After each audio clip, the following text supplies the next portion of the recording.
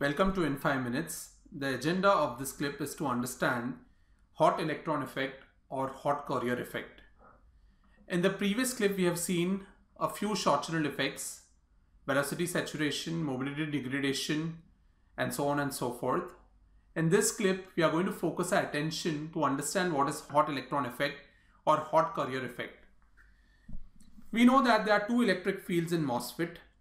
One is E lateral, we have seen that, which is given by VDS by L, drain to source voltage upon the length of the channel, and the other one is E vertical, which is given by VGS by TOX. Now, we have also seen scaling and two different types of scaling, constant field scaling and constant voltage scaling. We saw its advantages, disadvantages for both of them. Now let's presume that we have done constant voltage scaling means my voltages are not scaled down whereas all my other dimensions or features are scaled down except for the voltages. If that happens, let's see what's happening for E lateral.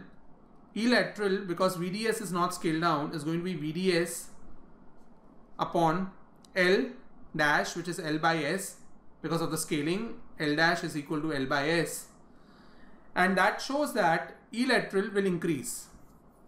We also know that when my VDS is greater than VD sat my channel is pinched off and if I keep on increasing my VDS further my channel keeps on shifting towards the left in saturation region correct shifts towards the left that means my channel length is effectively reduced so length is reduced here further. This also will lead to an increase in E lateral. So what we are trying to understand here is that presuming that our transistor is operating in the saturation region, we have deployed a voltage scaling, constant voltage scaling technique in which my voltages are not scaled down. We see that our E lateral, which is VDS by L, increases. In this case, technically as VDS is increasing length is getting reduced so the factor might get even out but because length is scaled down by a factor of S E lateral still increases and VDS is kept constant it's not scaled down. Now in the previous clip we have also seen that the drift velocity is given by mobility into E lateral. We have seen this while we studied velocity saturation. This tells me that as E lateral keeps on increasing my drift velocity of my electrons will keep on increasing. Now when the velocity of the electrons is increased means well the electrons are moving with very high velocity. We know that the kinetic energy is directly proportional to velocity. So my kinetic energy of this electrons or this carriers would increase drastically. When the kinetic energy of this electrons increase drastically, what's going to happen is they will become hot and hence these electrons are called as hot electrons. So let's understand quickly. Let's recap what I just said. When VDS is increasing, my E lateral is increasing.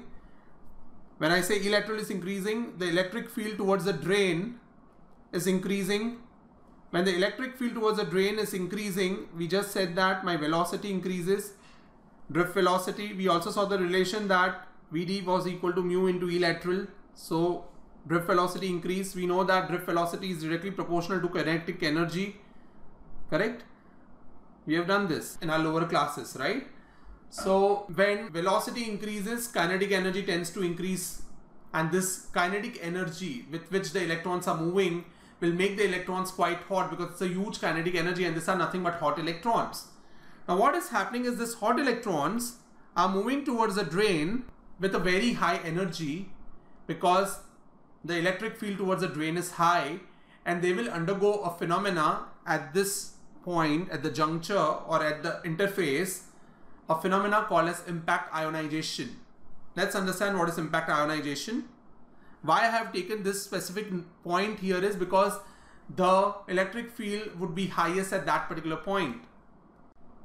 So impact ionization is a process in a material by which one energetic charge carrier can lose energy by the creation of other charge carriers. We'll quickly understand this. Right now what we need to understand is impact ionization is some sort of a process in which one energetic charge carrier, in this case electrons are very highly charged, right? So something this electrons will do and that what they are going to do is they will lose their own energy by the creation of other charge carriers. So in semiconductors, an electron or a hole with enough kinetic energy, which is to be the case right now with us, can knock a bound electron out of its bound state. What does this mean? If an electron is moving with very high kinetic energy, it can knock out an electron from its current state and put it into another state. For example, I have shown here, this is the electron with very high kinetic energy. It is knocking down this electron 1, which is in valence band to conduction band due to impact ionization. And this will lead to the absence of electron in the valence band, which is nothing but the presence of hole or an electron hole pair is generated. So this electron which moved here due to impact ionization from valence band to conduction band will lead to the absence of electron which is nothing but an hole or an electron hole pair is generated. Now because there are so many of these electrons which are moving with such high energy, lot of these electrons will transfer their energy to the electrons in the valence band and move them from valence band to conduction band leaving behind a lot of electron hole pairs. The holes which are going to be the p type will go back to the p substrate which will lead to a substrate current which is technically not desirable. However, the electrons will move toward the oxide layer. Now see an interesting thing which is happening. We know that there is another electric field also which is present which is nothing but E vertical which is again given by VGS by TOX. Again if we presume that VGS is not scaled down and TOX is then E vertical is also increasing, right? Because T dash OX is equal to S time TOX. Now when E vertical is also increasing, it will try to pull the electrons towards itself. Here we have seen that the electrons because of impact ionization, electron hole pairs are created, holes will move towards the substrate leading to substrate current. The electrons will move towards the oxide and because of the high electric field, lot of electrons will move towards the gate but there will be some electrons which will get trapped into this oxide. And here is a very interesting thing which we'll be using as a concept for flash memories and EPROMs. Now when these electrons get trapped into this oxide, what's technically going to happen is, suppose this is my MOS, this is my oxide, this is my metal. Now there are some electrons which are getting trapped here, correct?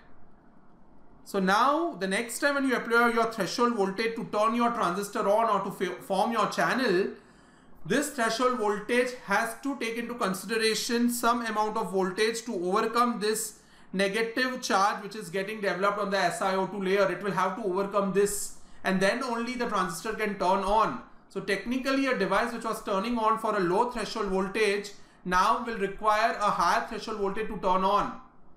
And this carriers or this electrons which move into the oxide layer will affect the overall characteristics, the value of the currents also in your device. This concept will be studying in details which is nothing but a floating gate concept. In that we add on an additional gate but it is very similar for you to understand right now that when the charge is getting trapped into the oxide layer you have to take into the equation of the threshold voltage the value to overcome that charge and hence your threshold voltage will increase and your device characteristics will change. And in this case, for the same threshold voltage which your transistor was turning on, now will turn on with a higher threshold voltage and overall your value of ID will reduce. That means if ID is reducing, your resistance is increasing, your resistance is increasing, in layman's language delay is equal to R into the load capacitance, your resistance was increasing means your delay is increasing and your speed is becoming slow. This is one of the short channel effect hot career effect or hot electron effect. Hope you have followed it. Stay tuned for further clips and thank you very much.